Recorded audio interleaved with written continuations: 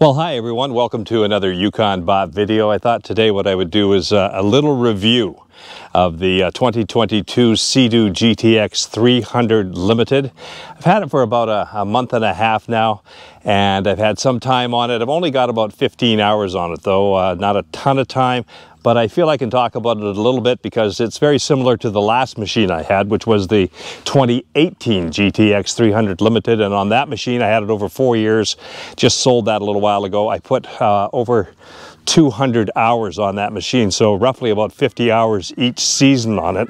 So quite a, quite a bit of distance on that machine, and now I've got the new 300 GTX Limited.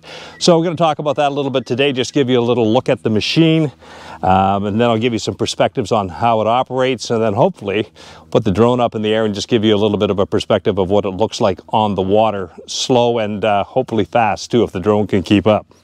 So this machine, I ordered it in uh, 2021, the summer of 2021. It took a year for the machine to get here. It uh, arrived around the end of April and I couldn't pick it up until the very early part of June because like many of you, these machines have been waiting for electronic uh, parts, modules, instrumentation, and there's a lot of Sea-Doos sitting at dealerships all around the country, and I know a lot of you very anxious to get your machines and get them on the water. They may be in, they may be at the dealership, but many of them are waiting parts to be put into them so that they can be used on the water.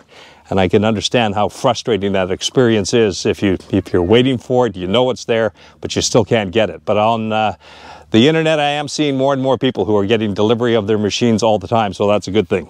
So let's talk about this machine. It's not that much different from the uh, 2018 GTX 300.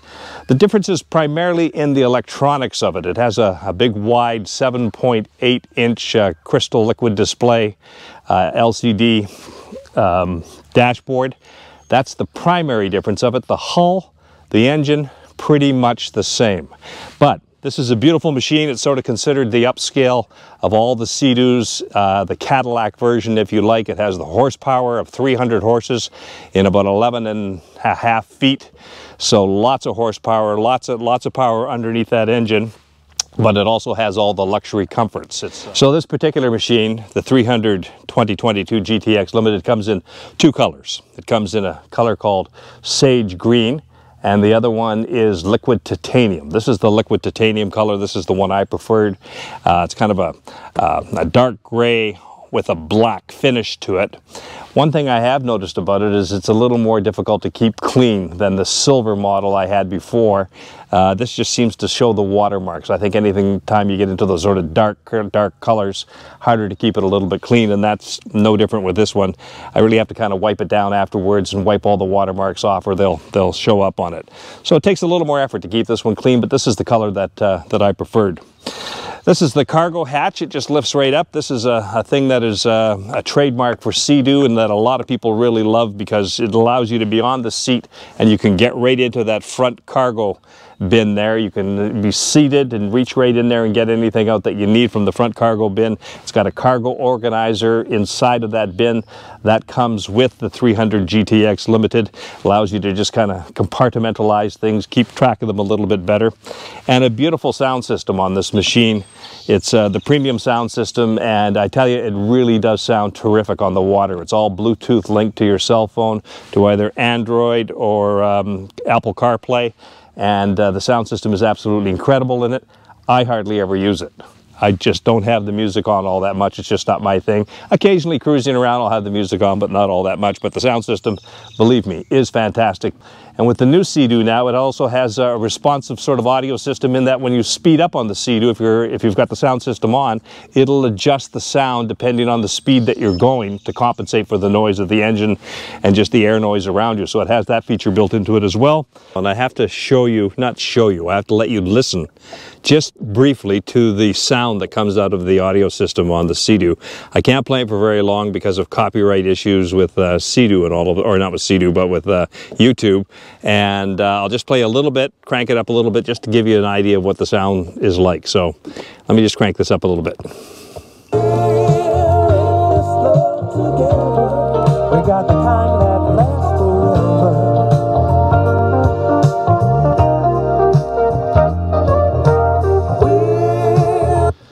Next song.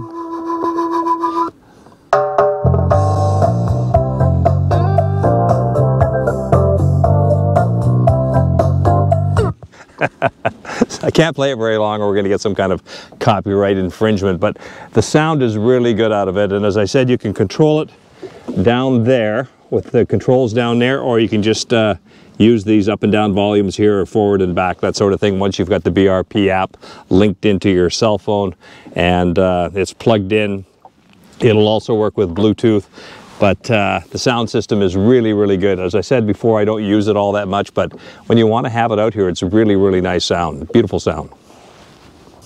This particular model, the GTX, uh, comes in three different versions. There is a uh, 170 horsepower engine, there is a 230 horsepower engine, and then there's the top of the line, the 300 horsepower engine, which requires premium fuel. So keep that in mind that uh, it can get pretty expensive to refuel these things on the water when you're paying for premium fuel, particularly on the water. In Canada, I've paid as much as $2.65 a liter for fuel on the water. Those prices have come down now, thankfully, but uh, it can get pretty expensive when you're putting premium fuel in on the water. So I always try to do that on land as much as possible. But sometimes you're just out there and you need to top up at a marina, even though you can carry some extra fuel with you. Um, you just have to do that on the water sometimes, and you have to be prepared to pay those kinds of prices. Some of the smaller engines don't require the premium fuel. In terms of modifications that I've done to the machine, not really that many. I have uh, added a, uh, a cell phone holder right on the front of the machine, right here, that holds my cell phone. It's just a ram mount onto a, a, a, ball mount, and then that just holds the cell phone in place. That works really well. Cell phone does not get wet out there. It sits out there just perfectly and doesn't have any problems. But uh, if you're worried about that, inside there is a glove box and you can lift that up and inside the glove box there's a waterproof compartment in there and in that waterproof compartment you can put your cell phone in there. Uh, there's a bit of foam padding for the cell phone and on the limited model there is a USB power supply to it. So you can power your cell phone all day long. It'll never run dead. You can plug it into the USB port cover it up inside there and your cell phone will never get wet. Your, your stereo system will run off of that and you don't have to have the cell phone out. I have the cell phone out because I like to use the uh, Navionics app for navigation on uh, the cell phone and use that as my primary navigation. Haven't quite totally got used to the navigation from BRP yet, from their system that you, just shows up on the LCD display. It's To me, it's just a little bit far away to see um, and it's just not as detailed as I'd like as I, as I get on the Navionics. So I'm probably for now going to be sticking with the Navionics. I may be adding a GPS unit that you can add to the mirrors on this Sea-Doo. There's a touchscreen now, Garmin GPS unit, builds right into the mirror on the Sea-Doo and it's a much bigger display. And I think I'm going to order one of those so I have full navigation right there and it'll be a much easier to, bigger screen, easier to see, easier to reach and touch, and I think it'll just be a little bit better. So I've got one of those on order. It's about $1,400 from BRP, and uh, I'll build that into the, to wire in and, and build it into the mirror, and I think that'll be my primary navigation going forward, but that's uh, something that uh, has yet to come in.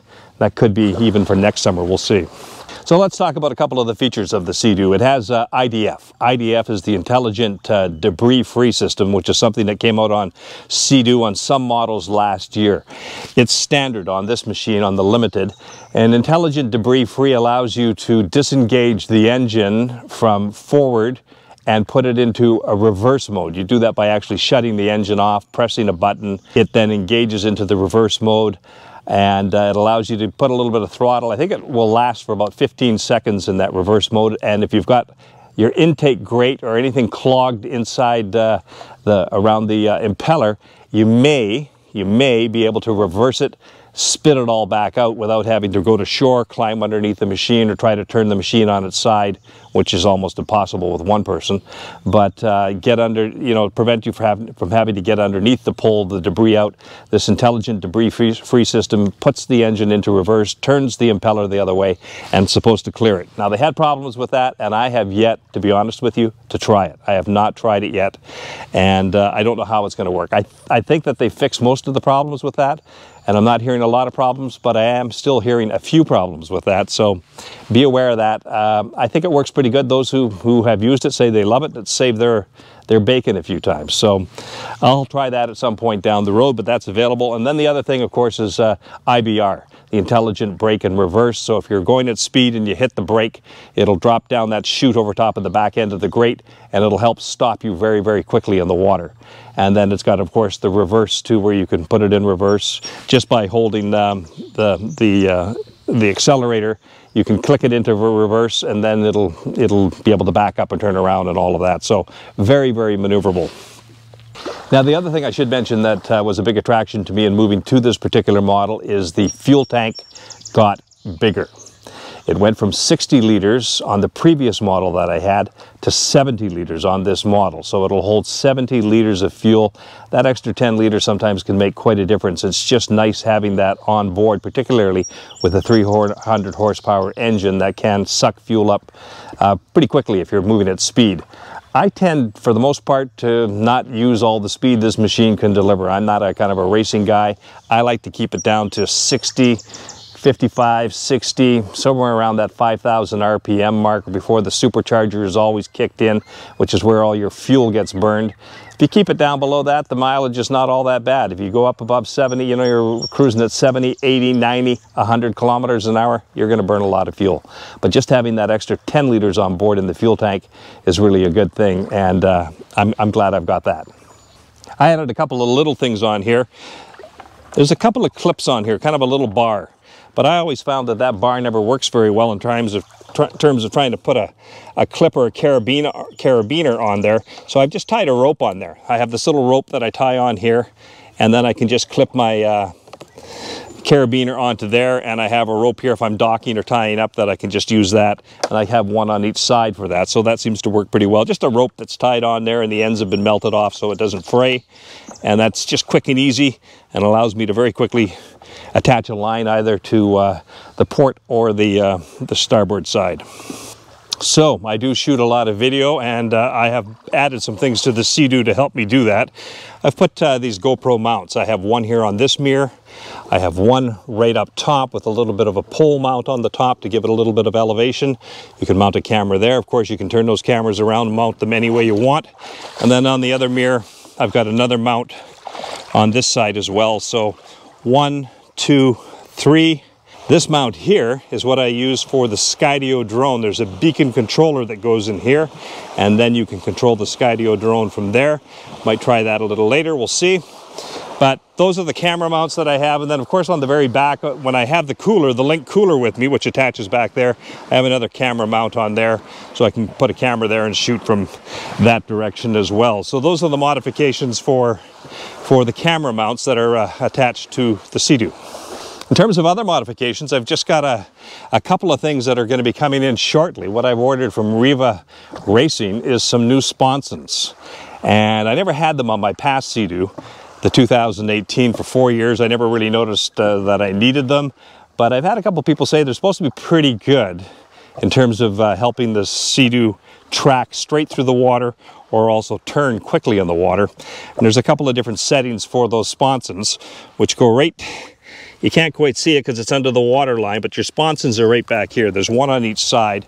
Those are the standard ones there that come with the Sea-Doo, but the Riva Performance ones allow you to turn a lot more quickly, precisely, tightly, and also track straight when you're in a wake behind another boat.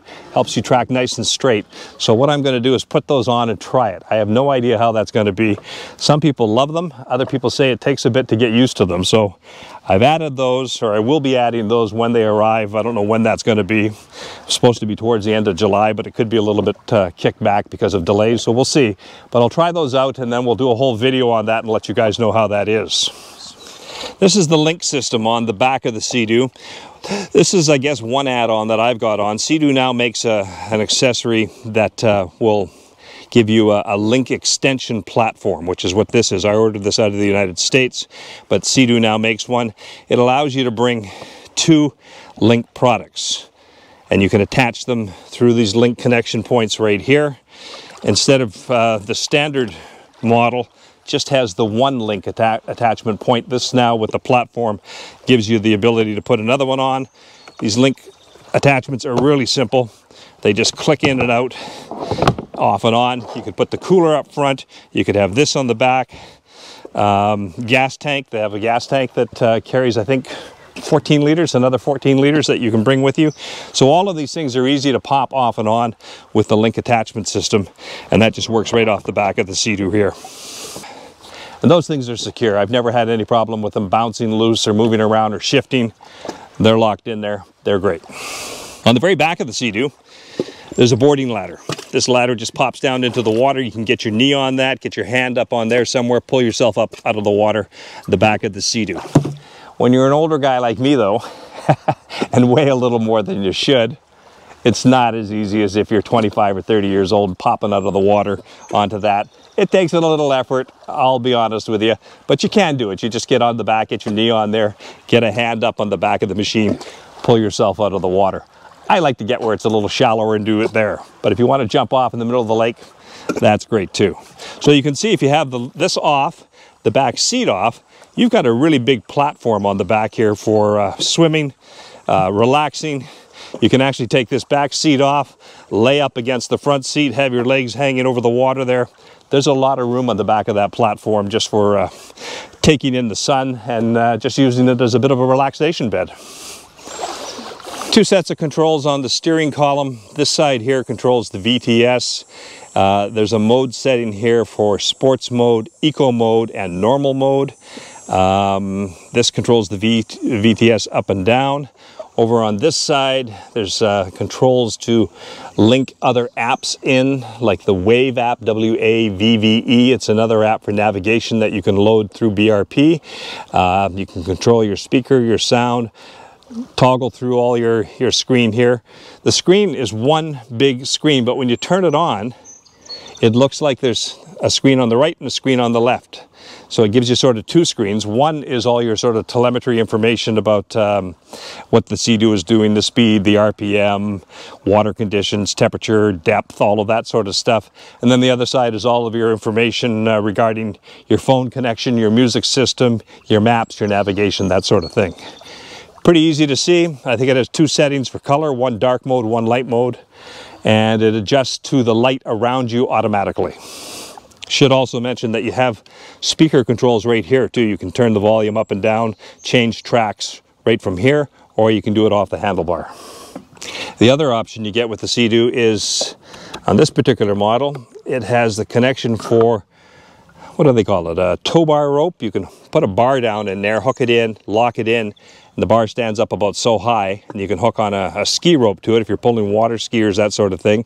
You can hook that bar system in there and uh, tow water skiers behind the, the, the Sea-Doo, no problem. If you're towing a tube or something like that, there's a connection point back here. You probably can't see it all that well because it's underneath the case here. And I've got a little rope on there for a third connection for a rope if I need to tie up to shore. But there is a there is a connection point right here and you would use that connection point if you're going to be towing, uh, you know, one of those rubber tubes or something like that. Uh, you use that one and then the other one is for towing uh, water skiers. I've added a couple of decals onto my Sea-Doo, just a Canadian flag, Yukon crest on each side. I've uh, put the Yukon Bob YouTube uh, decal on here. It doesn't show up as well on the gray as it did on my silver one, but uh, it's there. A couple of other little decals and things like that, but for the most part, it's uh, just the way it came from uh, the factory, with the exception of the camera mounts and the add-ons. I will be putting a few more add-ons with the sponsons once they get in. And I'm also going to add on to it uh, what they call a catch can. I don't know whether I need it for sure or not. It's a it's a an aftermarket item that uh, I'm going to add on to it from Riva uh, Performance uh, Racing.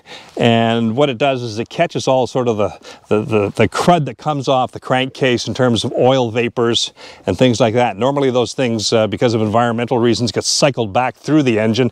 Sometimes they can build up in the uh, supercharger and in the intercooler and give you a bit of crud in there. So this has a little diversion where the hose goes into this little catch can that has an air breather on top and you just once in a while empty this little catch can so that all that sort of crud and debris winds up there and not back into the engine. It's supposed to help a little bit with uh, keeping the engine clean. Some people who, who know more about this than I do tell me, well, it's really only for people who are using their machines in a high performance way, running super fast all the time, not so much for the type of cruising that I'm doing. But I thought, you know what, I'm going to put it on anyway and give it a try and just see, see what it's like, and then I can kind of report back to you on whether it's uh, a necessary thing or not.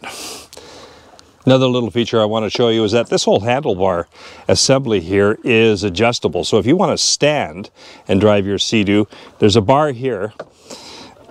If I can do this with one hand, this is kind of tricky with one hand.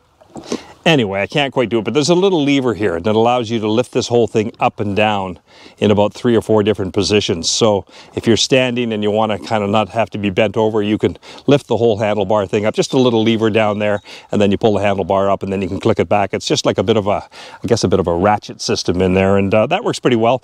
Don't use it all the time, but yeah, if you're going to be standing for a long period of time, you might want to raise your handlebars up so you don't have to bend down as far to, to reach the handlebars. Kind of a neat feature. The seats are really easy to remove. Not so much with the camera in your hand, but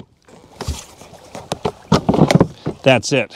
Just a couple of little buttons to click. That seat pops right off.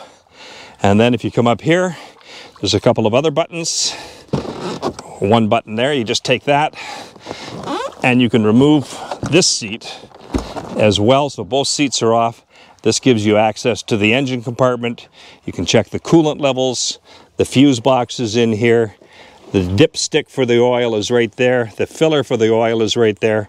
But in order to do an oil change on this, if you're one of those people who likes to do it themselves, you're going to have to take this rear deck off the back, remove all those screws, take that deck off because you'll need to do that in order to get into the access the oil filter and you'll have to take all of that apart and then put it all back together. And in the case of a Sea-Doo, the oil has to be sucked out of it with a suction pump through the dipstick because you can't obviously just drain it, so it has to be sucked out. So I'm sitting on uh, the second seat now, and if you're a passenger, you've got these uh, handlebars on each side that you can hang on to, and that uh, also gives you a pretty good uh, pretty good seating position plus there's a little strap here you can hang on to this as well so it's pretty comfortable back here not bad and for the rider you have these uh, ergonomic knee pads one on each side and these allow you to kind of lock your your knees in here have your feet in the the wells right up there. Your back is supported by the little back rest on the back of the driver's seat, and it's pretty comfortable. You can kind of get locked in here pretty well, so you can kind of lean, control the machine, keep your knees locked in a little bit to give you more flexibility in turning and on the corner so you don't get chucked off the machine. And uh, yeah, this seat is pretty comfortable, not bad at all. I really like it. This, by the way, is, if you don't know, this is where you fuel the uh, Sea-Doo. You lift up that top lid there and your filling point is right there. You have to be a little bit careful here that you got everything kind of below this whole line level here because this bar has to come down and everything locks watertight here. So you can't have stuff sticking up like that or over the edge or cords or cables because you're going to cut them if you have anything here because that comes down with quite a bit of force to make that watertight seal. But uh, Still lots of room in there. If you keep things down low, you'll be fine. So let's get off the land and let's get out onto the water. I just wanted to give you a couple of views of the Sea-Doo 300 GTX Limited from the water and also from the air so you can get a sense of what it looks like on the water.